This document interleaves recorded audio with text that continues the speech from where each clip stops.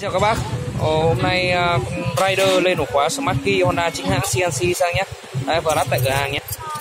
Đây vừa xe mới toanh luôn, vừa vừa lấy xong chưa có biển nhé. Đấy, Đấy. Đây, chìa bao gồm uh, chìa này. chủ xe tên là anh Sơn. À, một ID này và hai hai cái mở cốc khẩn cấp của xe SH này. Thì vẫn là hàng nguyên nguyên túi nhá. Đấy.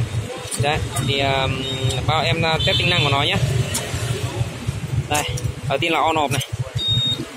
On off này thì à, đang chế độ màu xanh nha bác lại gần 2 mét xa 2 mét thì nó tắt máy còn gần 2 mắt à, 2, mét thì nó tự nhận diện ổ khóa này bác con xí ổ khóa nó sáng lên nhé nó lên điện này nó mở cốp tích hợp mở cốp trên núm luôn này. Này mở cốp trên núm luôn nhá. À, các bác muốn mở cốp ấy thì là mở lên điện này dí vào cái này. Đấy là mở cốp được cốp này. Ok. À, tắt các bác tắt đi này. Là khóa cổ này đấy xoay sang này. Muốn tắt nhanh này dí khóa nhẹ cái.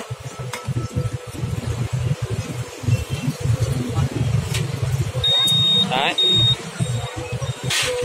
Khóa cổ nhá. Ờ, đến nút thứ hai là chống trộm chống dắt này. Các bác bật à nó kêu là một tiếng này. Ở tiếng thứ hai này. À nó cứ để phát hiện được nó đang bật chống trộm hay không này các ba dây nhé đỏ một lần này. Là bật chống trộm chống dắt nhé. Là các bác đụng vào xe này xe nó nhảy bốn xi nhan sáng ổ khóa lên.